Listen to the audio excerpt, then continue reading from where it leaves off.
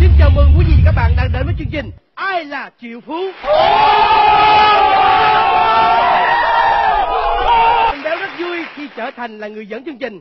Và người chơi của ngày hôm nay đó chính là nhà báo Lại Văn Sơn.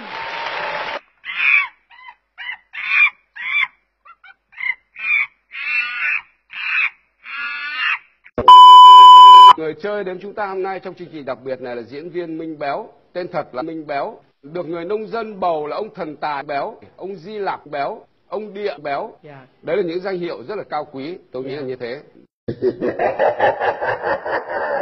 bạn có biết luật của chương trình Ai là triệu phú không? Dạ không Mặc dù thế tôi không phổ biến cho bạn.